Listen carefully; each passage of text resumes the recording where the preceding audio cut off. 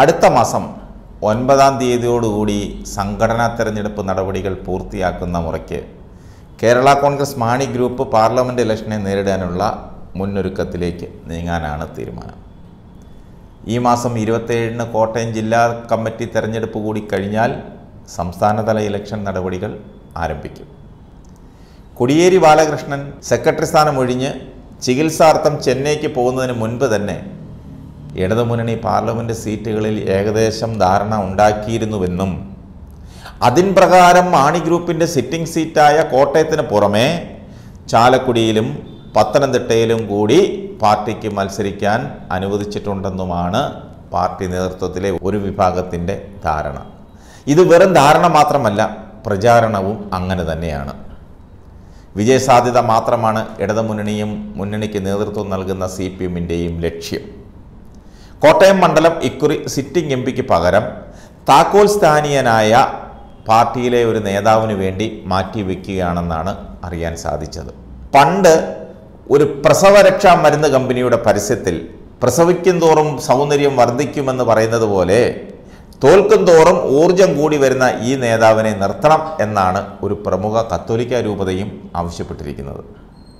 നിൽക്കും തോറും തോൽക്കുകയും തോൽക്കും തോറും നിൽക്കുകയും ചെയ്യുക എന്നത് ഈ- ഈ മാന്യന്റെ ഹോബിയാണ്. അതായത് ഈ നേതാവിന്റെ മാത്രമല്ല പാർട്ടിയുടെ ചിഹ്നക്കേസിൽ ഇലക്ഷൻ കമ്മീഷനിൽ ഇടപെട്ട് പാർട്ടിയും ചിഹ്നവും നേടിയെടുത്തതും ഇദ്ദേഹത്തിന്റെ ശ്രമഫലമായിട്ടാണെന്നാണ് ഇദ്ദേഹം തന്നെ പറഞ്ഞു വരുത്തുന്നത് ഇദ്ദേഹത്തിന്റെ അനുയായികളും ഇത് തന്നെയാണ് പറയുന്നത്.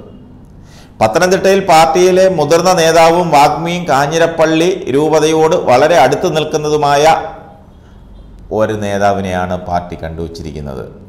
ഒരു കാലത്ത് പാർട്ടി ചെയർമാനെ തലങ്ങും വിലങ്ങും വിമർശിച്ച് നടന്നുവെങ്കിലും ഇപ്പോൾ പാർട്ടി ചെയർമാന്റെ വിശ്വസ്തരുടെ കൂടാരത്തിലാണ് ഇയാൾ.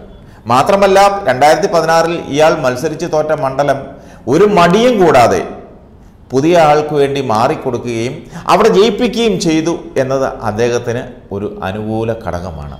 ചാലക്കുടിയിൽ യുവജന പ്രാതിനിധ്യം ഉറപ്പാക്കാൻ യൂത്ത് ഫ്രണ്ടിന് നൽകാനാണ് തീരുമാനം. നാളുകളായി ചത്ത നെത്തോലി പോലെ കിടന്നിരുന്ന യൂത്ത് ഫ്രണ്ടിന് ജീവൻ നൽകിയത് പാർട്ടിയുടെ യുവജനങ്ങളെ ഒന്നിച്ചു നിർത്തിയത് പുതിയ പ്രസിഡന്റാണ് പാർട്ടിയുടെ താക്കോൽ സ്ഥാനീയനായ നേതാവിന്റെ ഉറപ്പും പിന്തുണയും മാർഗനിർദ്ദേശങ്ങളും വേണ്ടവണ്ണം ഉപയോഗിക്കുന്നുണ്ട് ഈ യുവകോമളൻ. ഓണക്കാലത്ത് പാർട്ടിയുടെ വക തരിശുഭൂമിയിൽ കൃഷി ചെയ്ത് യുവാക്കൾക്ക് മാതൃകയായ ഈ കോമളൻ ഒരു കൂട നിറച്ച് പൂക്കൾ തിരുനക്കര ക്ഷേത്രത്തിൽ കാഴ്ചവെച്ചതും ഒരു കൊട്ട പച്ചക്കറി കൃഷിമന്ത്രിക്ക് കാഴ്ചവെച്ചതും മാധ്യമശ്രദ്ധ നേടിയിരുന്നു. മികച്ച സംഘാടകൻ എന്ന പേരും വാഗ്മി എന്ന വിലാസവും താക്കോൽ സ്ഥാനീയന്റെ പിന്തുണയും ഈ യുവകോമളന് അനുകൂല ഘടകമാണ്. ഏതാ? പാർലമെന്റിൽ ചാലക്കുടിയിൽ മത്സരിക്കാൻ സ്ഥാനാർത്ഥികളുടെ വിജയം ഉറപ്പിക്കുവാൻ വേണ്ടി പാർട്ടി തെരഞ്ഞെടുപ്പിനോടൊപ്പം ഇലക്ഷൻ കമ്മിറ്റിയുടെ രൂപീകരണവും ഉണ്ടാകുമെന്നാണ് ലഭിക്കുന്ന വിവരം. മുതിർന്ന നേതാക്കന്മാരെ തന്നെ ഓരോരോ ബൂത്തുകളിലും നിയോഗിച്ച് ഉടനടി പ്രവർത്തനം അത്രയും എന്നാൽ രണ്ടായിരത്തി ഇരുപത്തിനാലിൽ പാർലമെന്റ് ഇലക്ഷന്റെ ഒപ്പം പാർട്ടി ചെയർമാൻ ജോസ് കെ മാണിയുടെ രാജ്യസഭയുടെ കാലാവധിയും അനുവദിക്കുന്നതിനാൽ ചെയർമാൻ തന്നെ കോട്ടയം പാർലമെന്റിൽ മത്സരിക്കണമെന്നും ജനങ്ങളുമായി അടുത്ത് ഇടപഴകണമെന്നുമാണ് ഒരു വിഭാഗം ശക്തമായി വാദിക്കുന്നത്.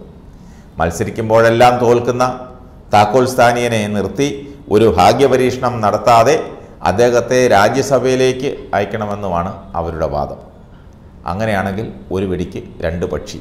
കോട്ടയം പാർലമെന്റിൽ ജോസ് കെ മാണിയും ജയിക്കും. രാജ്യസഭയിൽ ഈ താക്കോൽ സാനിയും ജയിക്കും. എന്നാൽ രണ്ടായിരത്തി പതിനെട്ടിലെ രാജ്യസഭാ അനുഭവം വെച്ച് നോക്കുമ്പോൾ ചെയർമാൻ ഇതിന് വഴങ്ങാൻ സാധ്യത കുറവാണ്. അന്ന് ഉന്തി മരം കയറ്റിയവരാരെയും പിന്നീട് വിമർശനങ്ങൾ വന്നപ്പോൾ കാണാൻ കിട്ടിയില്ലത്രേ.